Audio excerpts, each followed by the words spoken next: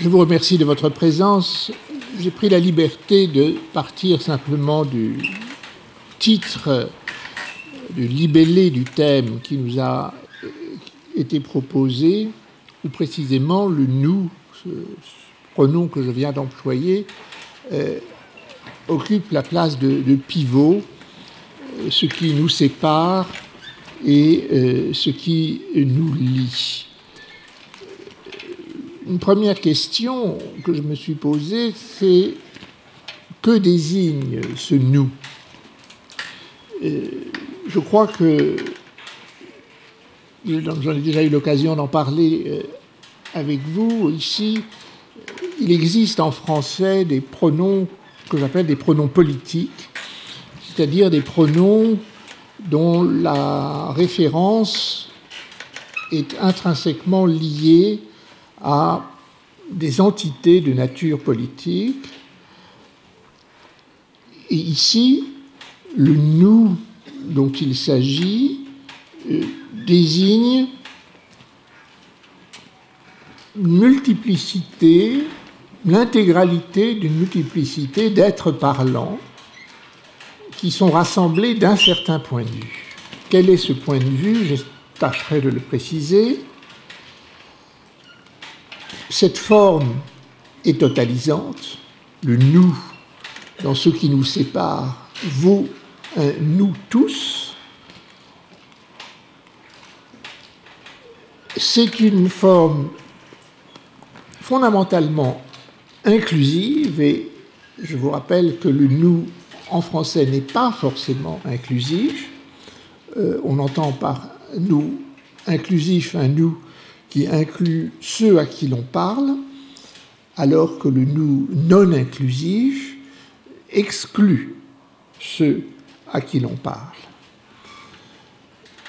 Les deux emplois sont également licites, mais imaginez que, en posant la question ce qui nous sépare et ce qui euh, nous unit ou nous lie, nous interprétions le nous d'une manière non inclusive, euh, le questionnement prendrait un sens totalement différent et en vérité inverse de celui qui euh, était pris comme point de départ. Je dirais donc qu'il y a deux caractères.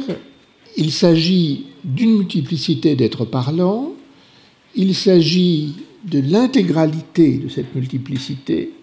Il s'agit d'une multiplicité où celui qui parle s'inclut, bien entendu, c'est à partir de lui que le nous se détermine, mais surtout une multiplicité où il inclut ceux à qui il parle. Je dirais que la primauté euh, qui est donné à l'inclusion sur la non-inclusion fait de ce nous ce que j'appellerais le pronom politique de la démocratie. Autrement dit, la question qui est posée ici est une question qui concerne la démocratie. La démocratie au sens de forme politique, au sens de forme politique organisant une société, mais en plus, rien dans la question qui, est posée ne nous permet de dire qu'il y a des limites imposées à ce, cette multiplicité d'êtres parlants. Rien n'interdit qu'en vérité, l'on pense, je ne dis pas que l'on s'adresse à, mais que l'on pense en s'adressant aux personnes qui sont ici, que l'on pense impliquer l'ensemble possible des êtres parlants possibles. Autrement dit, c'est la démocratie à l'échelle de l'humanité.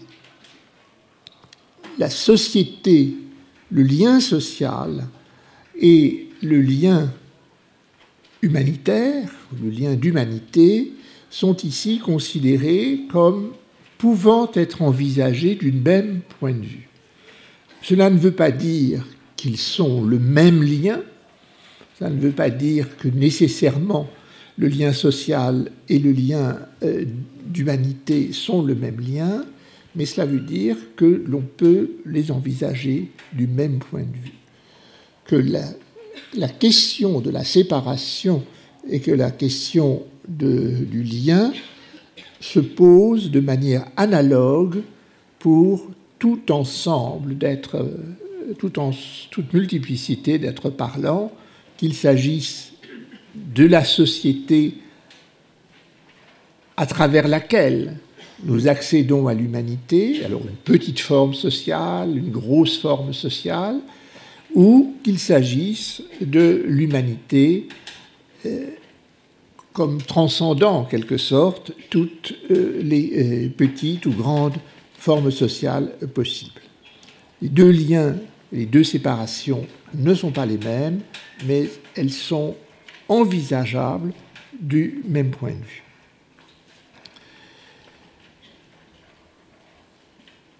Il y a donc, je dirais, une volontaire équivoque dans le nous tel qu'il a été employé. Mais il y a aussi un autre paradoxe, c'est que entre le nous tel qu'il est interrogé dans ce qui nous sépare et le nous tel qu'il est interrogé dans ce qui euh, nous lie, il s'agit du même nous. Dire qu'il s'agit du même nous, cela veut dire que nous considérons cette multiplicité d'êtres parlants, qui est peut-être l'humanité tout entière, qui est peut-être notre société tout entière, qui est en tout cas la démocratie à l'échelle de l'humanité, ce nous reste le même qu'il y ait division ou qu'il y ait un lien. Ce nous est pensé comme au-delà de la division et de la séparation, de la division, de la séparation et du lien. le nous avant la séparation et le lien est le même que le nous après la séparation et le lien. Le même en termes d'extension possible. La seule différence, c'est que ce nous qui est le même, cette humanité qui sera la même, cette société qui sera la même, sera une société en tant qu'unie, une société unie, ou une société divisée, pluriellement unie, pluriellement divisée.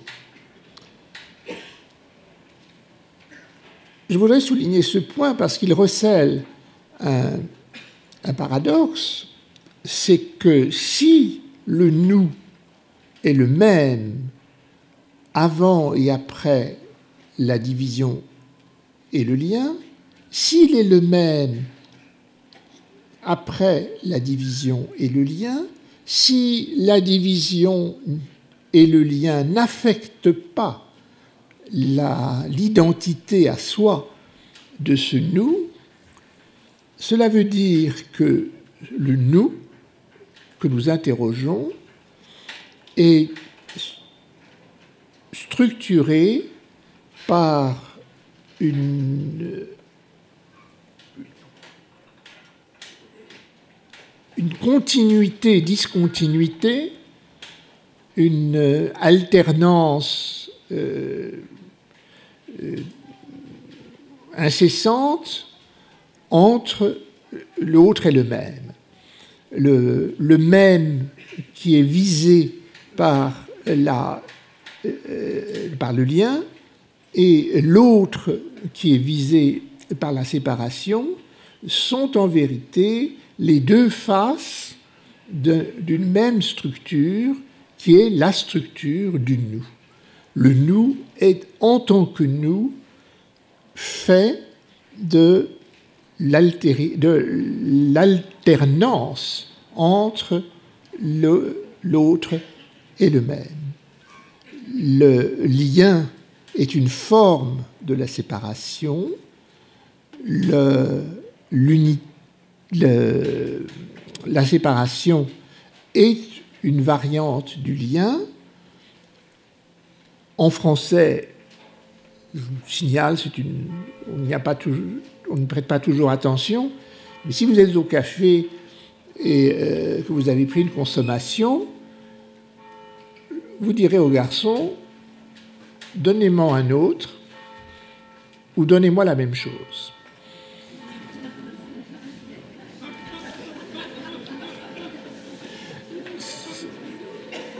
Eh bien, je dirais que le nous dont nous parlons est fait de cette même euh, double entrée, si j'ose dire, entre, euh, entre le même et l'autre.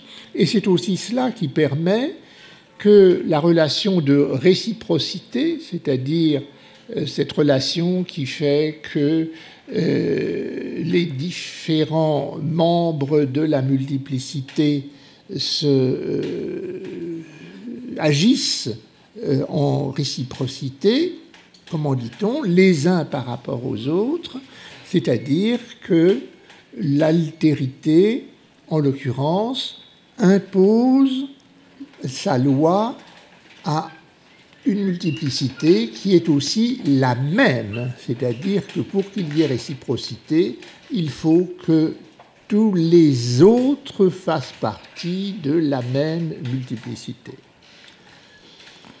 Bien entendu, je ne fais que redire des évidences que la philosophie a depuis longtemps euh, étudiées. Je pense euh, à Sartre, je pense euh, à Hegel, bien entendu, je pense à ce que Lacan appelle le petit autre, c'est-à-dire une altérité qui est faite de la continuité du même et de l'autre, du lien, de la liaison et de la séparation, comme si le lien et la séparation étaient transcrits sur une même bande de Mébius, où on a l'illusion qu'il y a deux faces, mais de telle façon que quand on parcourt la phase du même, on rencontre en continuité la phase de l'autre et euh, inversement. La question sociale, la question de l'humanité oscille entre le lien et la séparation.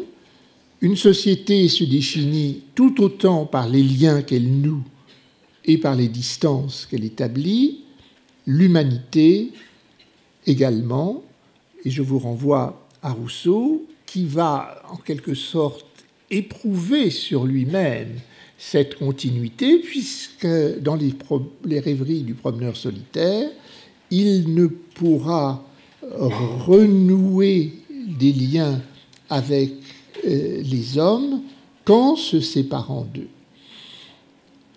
Et le, le lien authentique qui l'unit au reste de l'humanité ne peut, parce qu'il s'agit d'une société euh, euh, dominée par les privilèges, par la séparation, ne peut, ce lien ne peut être reconstitué que par la mise à l'écart, la séparation, la promenade solitaire. La rêverie du promeneur solitaire, l'objet de cette rêverie, c'est une humanité unie à elle-même que la solitude séparée permet de relier par un lien indissoluble.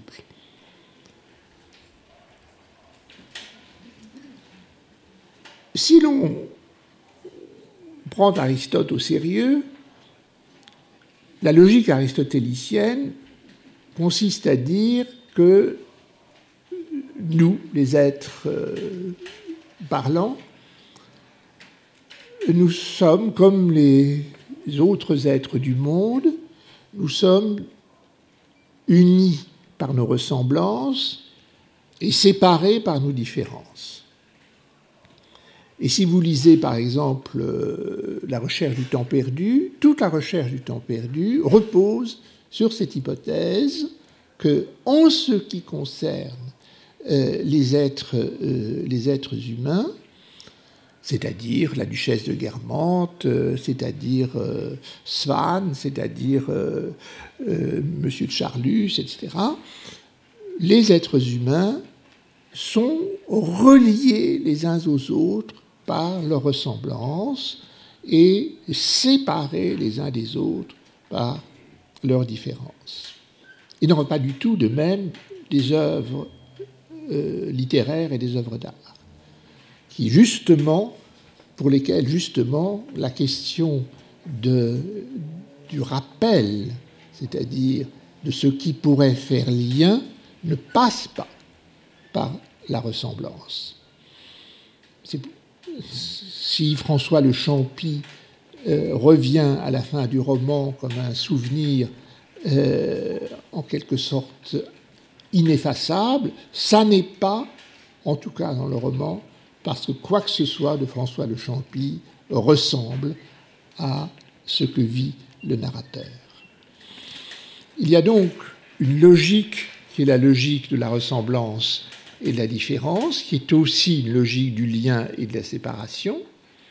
Mais vous pouvez également, et là encore Rousseau est euh, à citer, vous pouvez considérer la possibilité que les ressemblances séparent et que les différences relient. Et là encore, les rêveries du promeneur solitaire sont une illustration de cette euh, possibilité-là. Dès que Rousseau rencontre des êtres humains qui ont les mêmes traits que lui, il va découvrir la séparation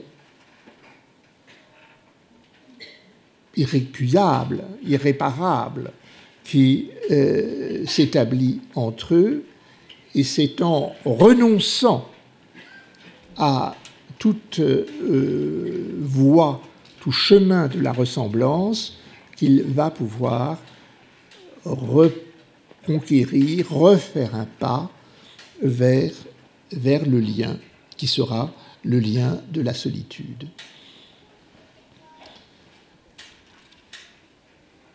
Il y a donc un tournoiement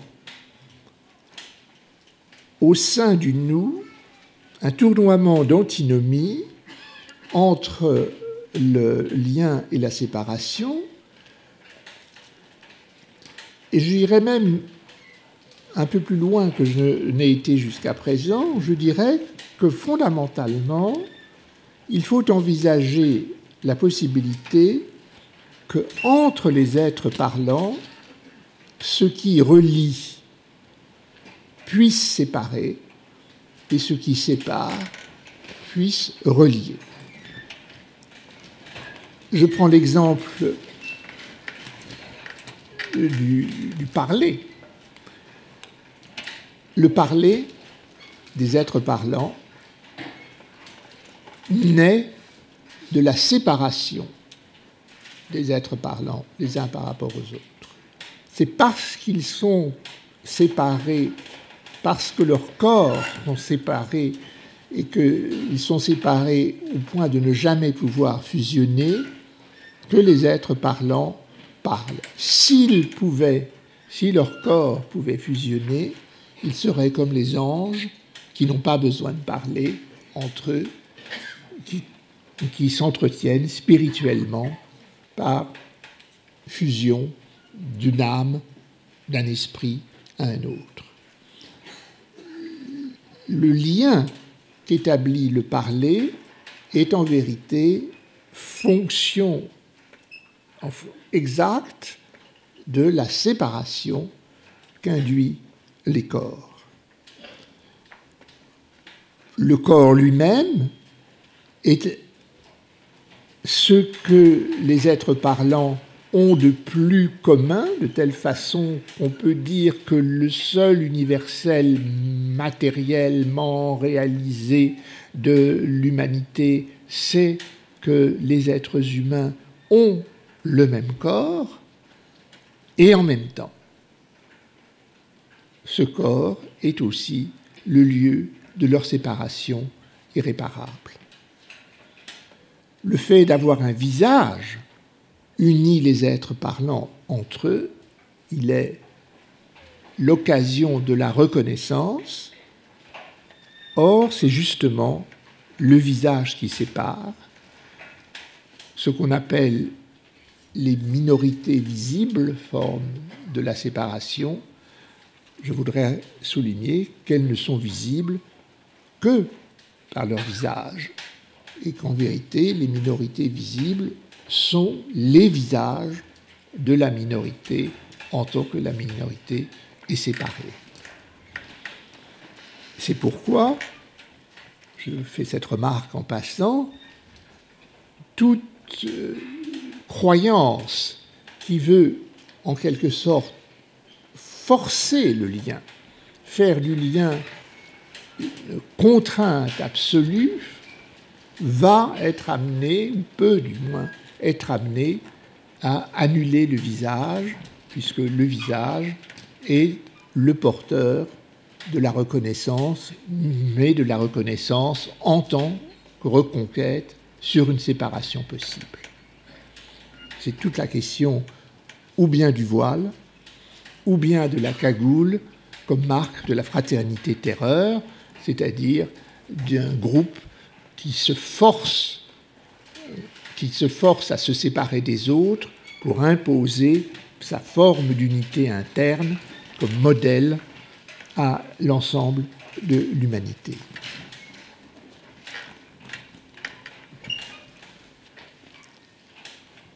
Le tournoiement incessant du lien et de la séparation dans ce que j'appelle donc le nous ce nous à lecture euh, flottante, à lecture euh, variable, cette, euh, ce tournoiement constant est une source d'anxiété. C'est une source d'anxiété parce qu'elle implique que tout, ce que l'on peut reconnaître comme caractère à un membre de ce nous peut s'inverser. Chaque prédicat, chaque caractère que l'on attribue euh, à euh, un membre du nous divise le nous entre ceux qui seront les mêmes du point de vue de ce prédicat et ceux qui euh, seront différents du point de vue de ce prédicat. Donc tout, ce qu'on peut euh, dire de qui que ce soit dans ce nous, de ce nous, porte avec soi la, cette, euh, cette continuité, discontinuité, ce balancement entre le, le même et l'autre. Et tant qu'on reste à l'intérieur du nous, l'anxiété guette puisque toute affirmation du même peut renvoyer à une insistance de l'autre, toute acceptation de l'autre peut interroger sur ce que j'appellerais l'authenticité de cette acceptation, parce que peut-être n'acceptons-nous un autre que parce que nous ne, nous, étions pas rendus compte que la raison de notre acceptation, c'était ce qu'il y avait de même entre lui et moi.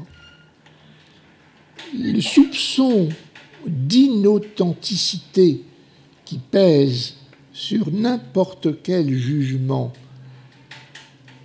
émis à l'intérieur du nous, que ce soit sur ce qui sépare ou sur ce qui lie, le soupçon d'inauthenticité qui pèse sur la volonté de lien, le refus de la séparation, ou au contraire l'acceptation de la séparation comme prélude à la construction d'un lien, ou au contraire la, euh, la, la, mise en examen du lien pour en éliminer la, le soupçon que euh, quelques dimensions de l'autre les fracturer, enfin, toutes ces, tous ces procès en inauthenticité sont la marque de l'anxiété qui traverse le nous tant que le nous reste intérieur à lui-même.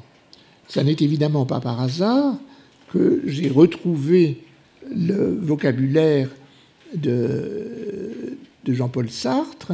Jean-Paul Sartre, dans la première partie de sa philosophie, dans sa période qu'on a, a appelée l'existentialisme, est un philosophe de, du nous qui n'a que qu'un intérieur au nous pour, se, pour déterminer la validité ou l'invalidité du même et de l'autre.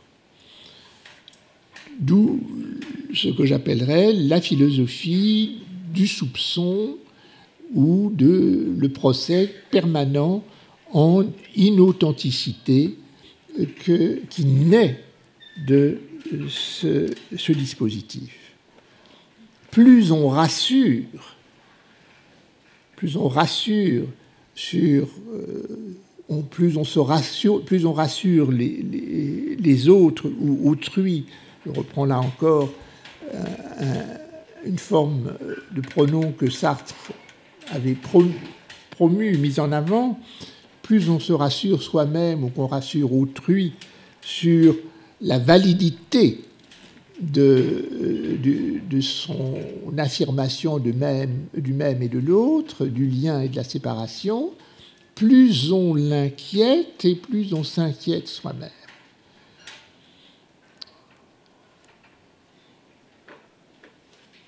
C'est à ce moment-là que naît, pour en quelque sorte traiter cette, anxiété constante, cette indéfinie possibilité du retournement, que naît la fonction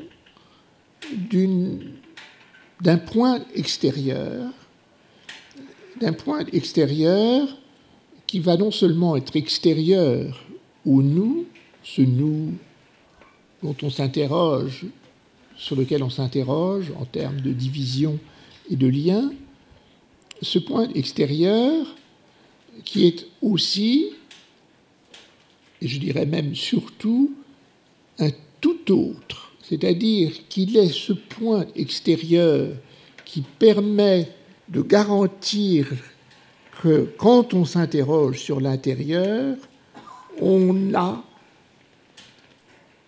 un référentiel extérieur vers lequel euh, orienter son regard.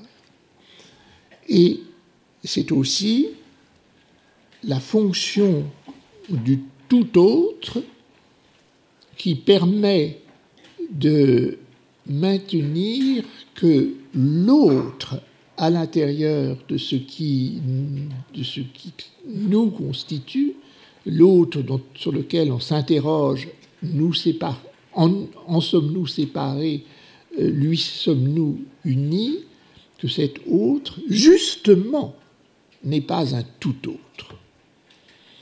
Autrement dit, pour que nous puissions faire la différence entre l'autre, le petit autre, pour reprendre le terme Lacan, et le tout autre ou grand autre, comme euh, le disait Lacan, il faut ce point qui est en vérité une pure et simple fonction.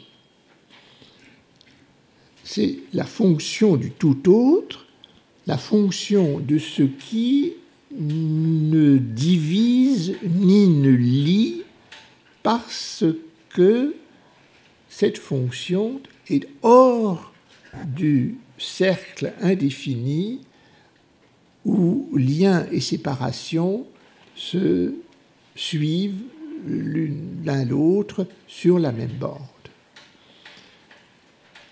Cette fonction est nécessaire d'abord pour la raison que j'ai dite, elle confirme que l'autre n'est pas tout autre. Elle confirme que le même ne s'obtient pas simplement par renversement euh, en réciprocité du petit autre. En vérité, elle permet de séparer le même et l'autre de telle façon que ni en termes de réciprocité, ni en termes de euh, contestation réciproque, ni en termes de soupçon, ni en termes d'inauthenticité, le même et l'autre se fassent en quelque sorte, se livrent en quelque sorte à un procès perpétuel.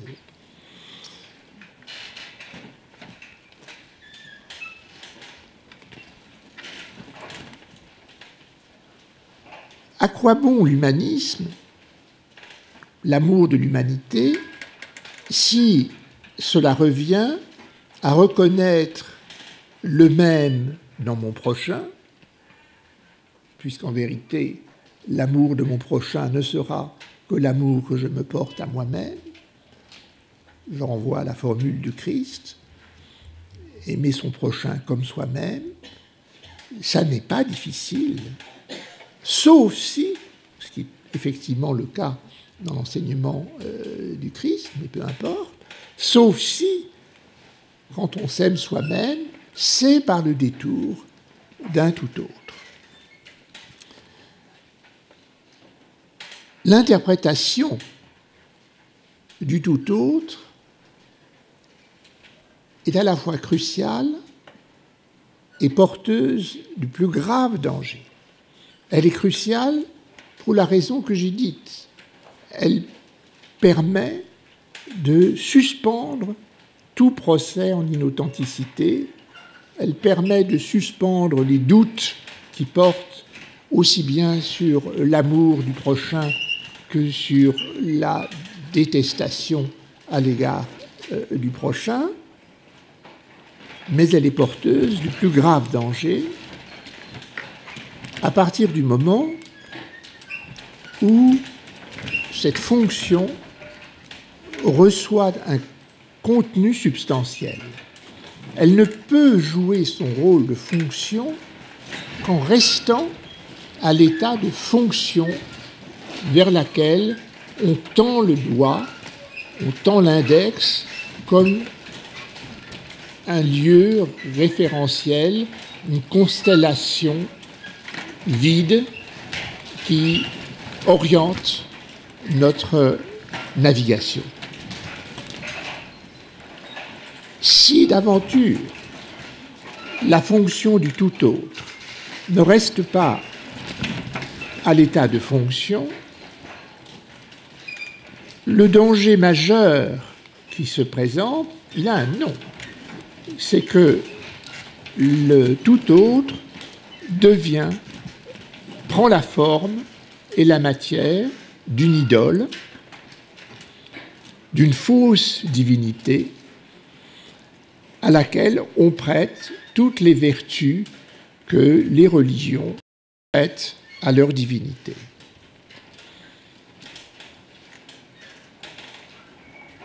Qui plus est, une fois que l'on a donné à ce tout autre un nom, et non seulement un nom, mais une substance, une figure, on en a fait idole, mais on a commencé à raconter des choses à propos de cette idole.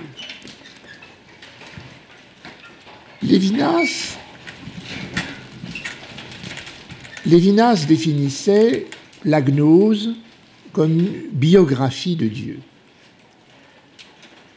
Et je voudrais dire que la définition de Lévinas peut et doit être universalisée. Je veux dire par là que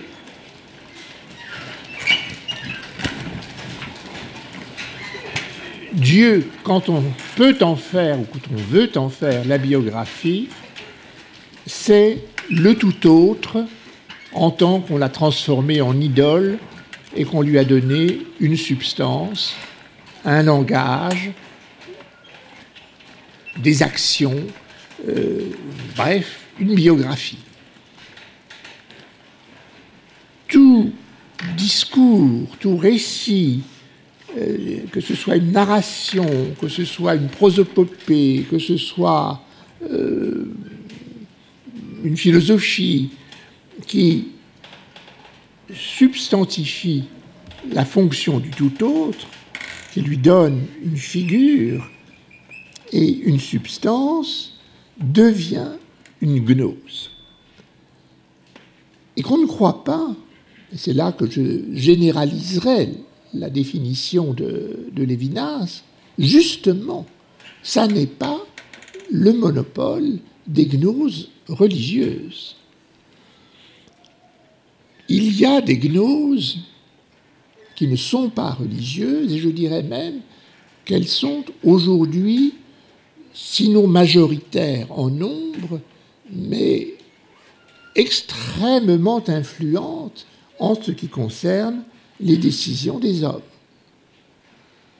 Non seulement il y a des gnoses, c'est-à-dire des biographies du tout autre, des portraits du tout autre, des anecdotes sur le tout autre, mais il y a des gnostiques qui se présentent comme des interlocuteurs familiers du tout autre, des proches du tout autre, ou même des favoris du tout autre, ou même le seul favori du tout autre. Je vais revenir au fanatisme religieux, mais pas avant d'en avoir invoqué un autre, avoir évoqué une autre figure de la gnose, c'est tout simplement la gnose économique. Qu'est-ce que c'est qu'un économiste aujourd'hui? Un économiste aujourd'hui, c'est quelqu'un qui, s'adressant à vous, et qui dira nous d'ailleurs, comme je le fais, et qui dira ce qui nous divise et ce qui nous unit, je peux vous en donner la clé, ça se situe du côté de l'économie, en particulier de l'économie de marché et du marché mondial. C'est donc à l'échelle du monde et en fait de l'échelle de l'humanité.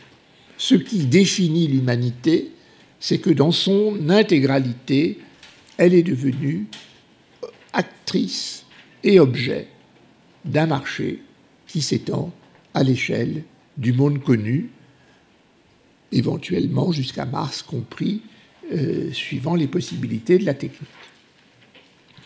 Mais moi, économiste, je ne vous parle pas comme n'importe lequel d'entre vous. J'ai un privilège c'est que je suis un proche familier du tout autre. Je peux vous raconter une série d'anecdotes sur le tout autre. Je peux vous dire que les marchés montent quand ils montent et qu'ils descendent quand ils descendent. Je peux vous dire que la pauvreté entraîne la richesse d'un certain nombre et qu'il faut faire en sorte que la pauvreté du plus grand nombre entraîne la plus grande richesse d'un plus petit nombre. Alors si on fait remarquer qu'il a dit ça, il dira non, je, me suis trompé dans mon anecdote, je voulais dire que la pauvreté d'un petit nombre entraîne la plus grande richesse d'un très grand nombre. Évidemment, qu'est-ce qui vous garantit que ce n'était pas la première anecdote qui était la bonne version? Et quand je vois Christine Lagarde, qui est, a une indéniable prestance, je, me dis, mais c'est la maîtresse du tout autre.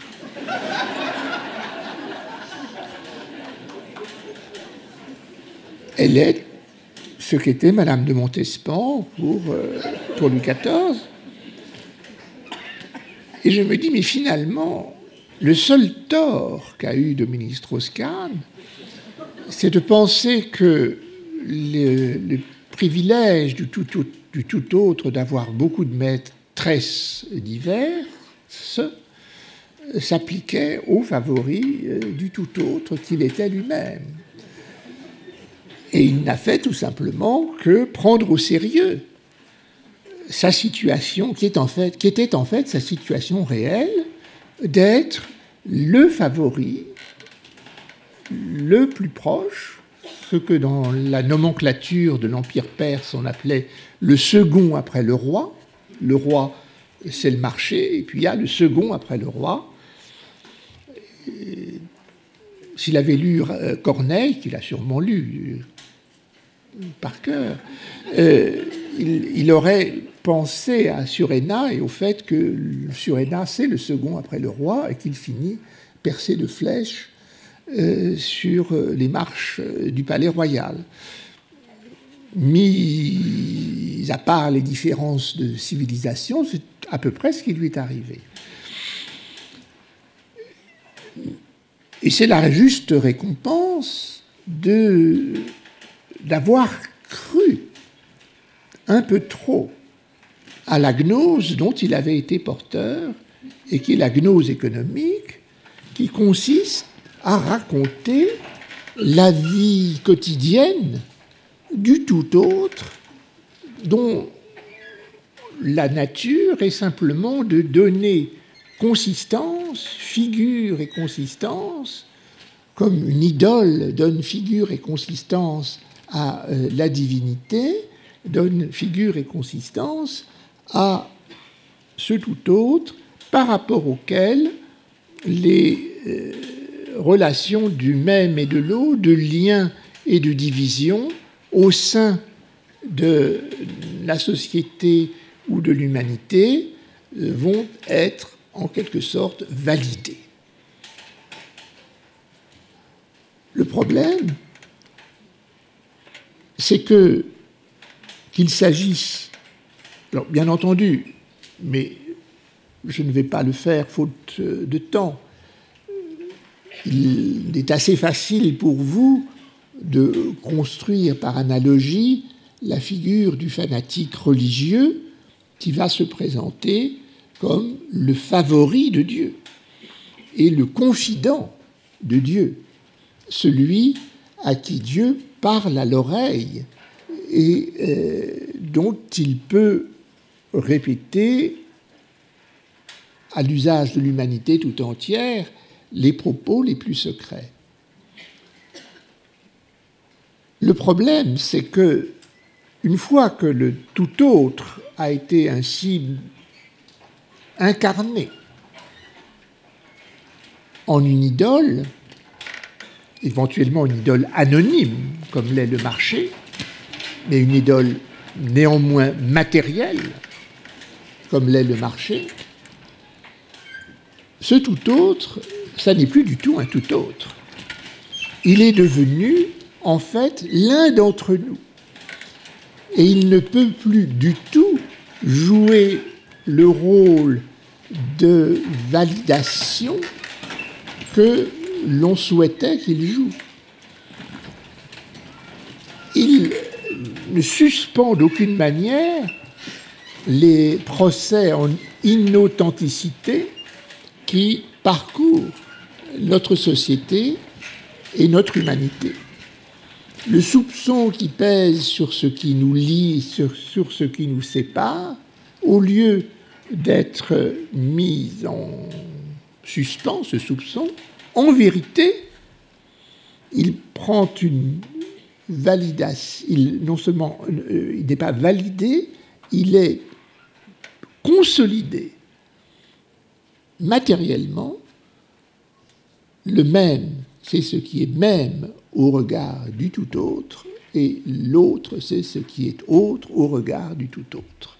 Et la matérialisation du tout autre entraîne la matérialisation sous forme de, dire, de pierre, de métal, euh, éventuellement d'armes, de ce qui, dans l'intérieur de la société euh, ou de l'humanité, est une bande de Mébius continue entre le même et l'autre, avec des retournements constants entre le même et l'autre. Ce qui naît alors, c'est une passion très particulière, qui n'a plus de rapport du tout avec le, les passions que suscite la division et le lien. Cette passion, c'est ce qu'on appelle la haine et la propriété singulière de la haine, c'est qu'elle porte sur l'être de celui ou de celle ou de cela qui est haï et non pas sur les propriétés caractéristiques de celui, de celle ou de cela qui est haï. Haïr, dans la haine du juif, haïr le juif, ça n'est pas le haïr parce qu'il a le nez crochu, parce qu'il aime l'argent, parce qu'il est avide, euh, parce qu'il a mauvaise odeur, etc. etc. Ça, c'est la menue monnaie de la haine. La haine du juif porte sur le fait que le juif soit. Non pas qu'il soit ceci ou cela, mais qu'il soit. À partir du moment où le tout autre, au lieu d'être une fonction, devient une idole, le tout autre génère, consolide en quelque sorte l'autre, le petit autre, indépendamment de ses propriétés, en quelque chose qui est EST pour qu'on puisse le haïr.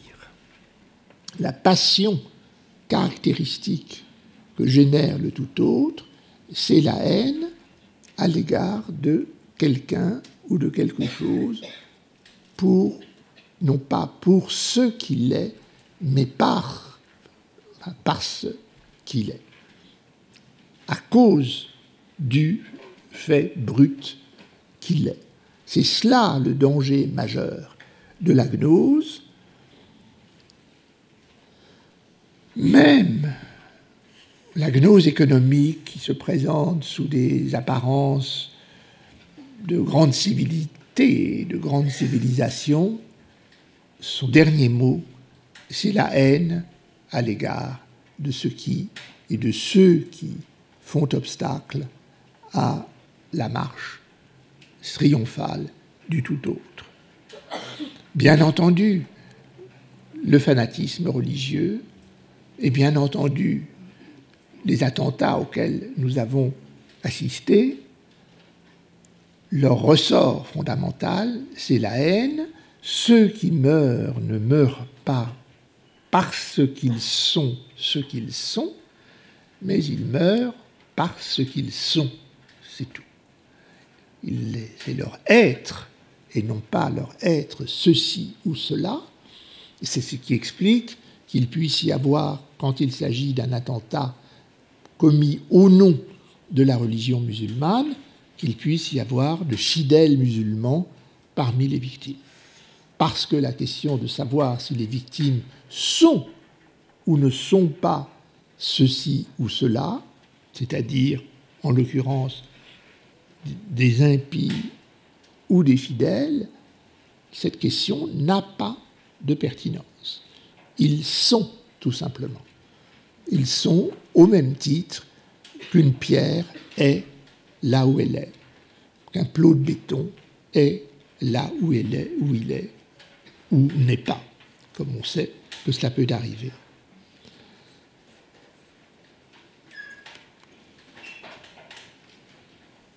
Dans le, dans le, la démocratie telle que nous avons appris à y vivre, je dirais que, y compris sous la forme de la raillerie, la fonction du tout autre est remplie par des mots qui sont les plus ténus possibles.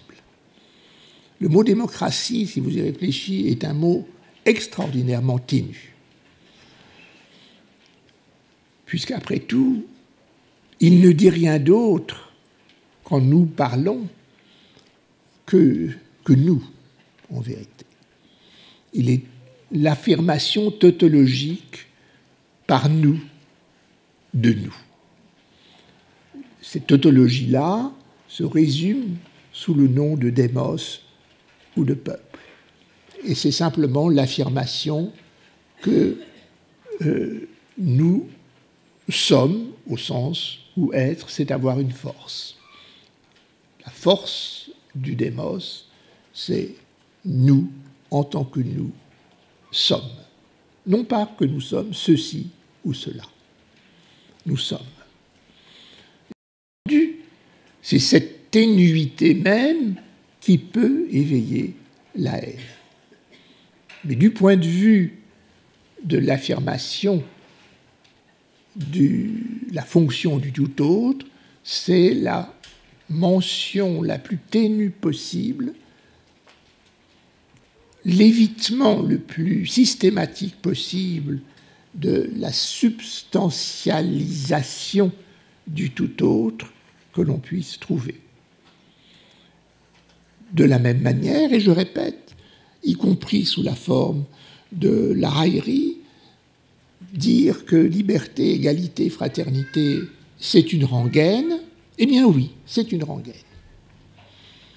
C'est une rengaine, et c'est parce que c'est une rengaine dont le contenu se laisse oublier au fil des années à force d'être répété que cela peut orienter le regard vers le tout autre sans que cela devienne la gnose et que cela fasse de nous les confidents du tout autre.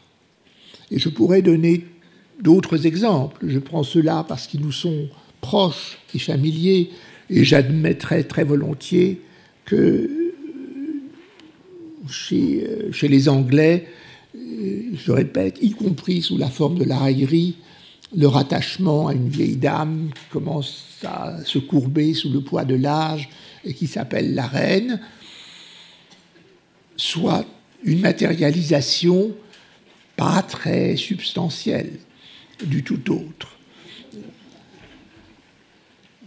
De façon assez intéressante toute la question du film de Stephen Frears, The Queen, où l'on voit l'opposition entre la matérialisation substantielle que représenterait Diana, belle, jeune, morte tragiquement, qui serait, qui porte avec elle le danger que redoute le Premier ministre, le danger d'une monarchie anglaise qui deviendrait une gnose, c'est-à-dire l'origine d'un, ce qu'on pourrait appeler un hooliganisme de, euh, du deuil, par opposition à la reine, à, qui personne ne s'intéresse euh, durant le film, et qui va devenir la barrière contre ce qui a vraiment toutes les formes d'un fascisme naissant euh, autour du deuil à l'égard euh, de, Diana.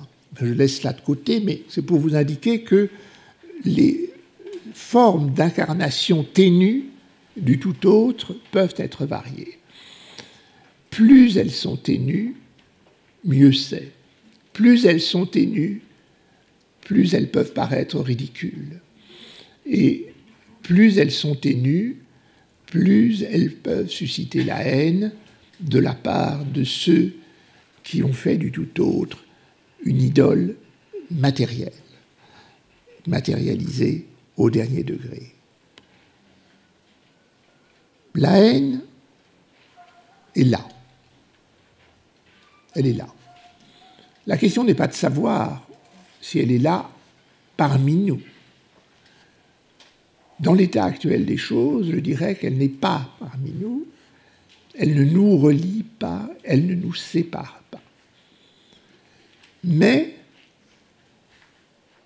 elle est suffisamment présente pour qu'on puisse craindre qu'elle naisse comme haine réciproque de l'autre, enfin de la première haine.